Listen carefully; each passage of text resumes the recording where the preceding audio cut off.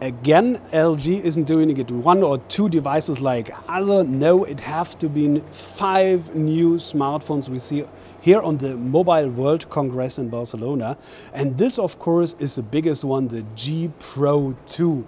And as you can see, it's a uh, successor from the G Pro, but we have that G2 um, set down here on the back with the up and uh, low volume and that standby button over here.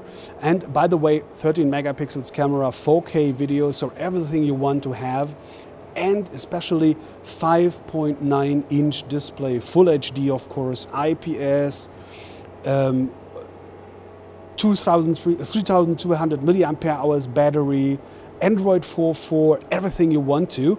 And especially, I find that feature great. It's called knock code because you can now unlock your device by having a um, frequency of knocks instead of whatever you want to have. But be careful, it's very tricky because if you just tap a little bit below that um, thing you, you, you locked before, you will have the problem that it won't unlock. So please be sure that you remind what you have done and in case you should be unsecure, just use it like your own um, G2 double tap feature that's called knock that's existing of course too. You can choose whatever you want to have.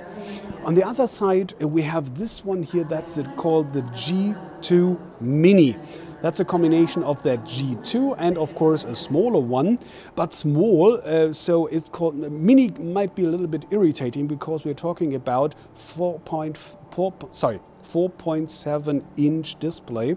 Um, so as you can, and that's of course uh, HTC One to remind you. And if you have that comparison over here, you see that's a total different league. That's uh, what I call a schnitzel because you have 82 uh, millimeters on, on the bright side over here versus 63 over here.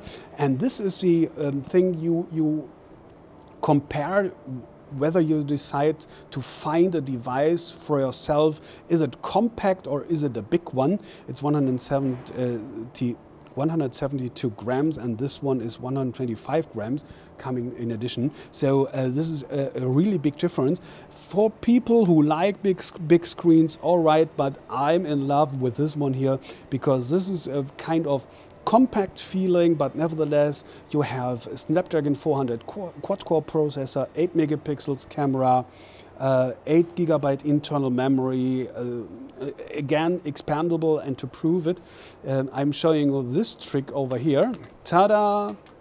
And that's something you can do with all smartphones. You see over here, all five new smartphones have a removable battery and have a extendable um, memory. So that's something I really respect at that uh, stage because you might remember we have had the G2 where a lot of people said wonderful device but I can't buy it because of that built-in and fixed battery and the loss, the lack of a memory SD card slot. So both are in all new devices over here and I find it really very great that a manufacturer is listening to the um, to the buyers and especially in that quick time um, proving that it can do better and it's listening and as you can see over here this is uh, really something I respect and that's uh, a great thing. The only minor thing I have to show you is a little bit problem with the uh, resolution because this is 540 by 960 pixels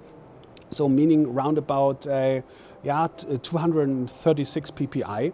But on the other hand, uh, I hope you can see over here, um, if I'm showing you some of the texts or in the menu in the app launcher over here, you nevertheless can read the text without any problem. So it's not the highest um, the highest resolution, the highest pixel density on the market. Of course, it's way below the average, but nevertheless, you can read anything. And I guess there are a lot of people out there who say, okay, I do not need that uh, super high resolution or that big screens like that. I just need big enough and, and good enough, and especially when we come to the price. LG hasn't announced any price for the G2 Mini yet, but as I heard from several uh, sources here on, in Barcelona, I guess there will be some roundabout 350 euros from the start without any contract for this one, meaning street prices running some 330, 320 or whatever without contract. So depending on the on your market of course but nevertheless it's not that expensive let, let me call it like that for a quad core device so you have every and LTE of course dual cell HSDPA so everything you want to I'm really in love with that one as you can see uh, but let me come to the um, uh, LG, uh, uh sorry, L3 series over here that have been announced before. So I will not um, show you all the um, specifications, but uh, the prices. This L40 for 99 euros, L70 for 149 euros, and the L90 for 199 euros. At least for Europe, there shall come round about the end of April. All those devices, expect for this one, we have to wait wait if uh, this one will come to Europe, but as a successor uh, came to um, Europe too. I'm quite uh, uh, positive that this will happen too, but nevertheless, I can promise, you know what I mean. All those are running on Android 4.4, um, uh, ex except from this one. We're not quite sure that this at, at the moment, but I uh, will have a look if you have that moment again. Let me try that knock code and then let me see what we have over here uh, general and about phone and um, software information.